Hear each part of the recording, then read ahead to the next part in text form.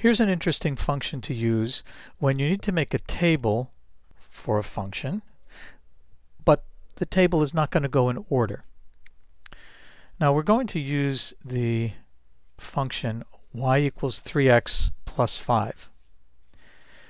Now if we just make a table for the function by pressing second table, this is what comes out. And we had the table set to start at 0 and go up by ones. But let's say that we wanted to find the values in this table for x equals 1, 2, 3, 10, 50, and 100, let's say.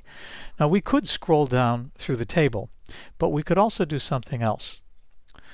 So let's press second table set, and we'll have this table start at 0. That really won't matter. We'll press enter, and the delta table is going to be 1 that really won't matter. But now we're going to go to independent, auto. Now auto means that that X column is generated automatically. We want it to ask us what we want there. So we're going to use the right arrow and then the enter key. And now let's see what happens when we go to make a table. Second table. There's nothing there. But now we can enter values of x and see what the y value is. So let's enter 1. Okay, and 3x plus 5, that's 3 times 1 plus 5 does equal 8.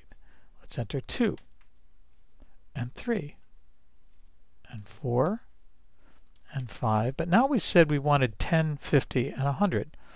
So let's enter 10, and 50, and 100.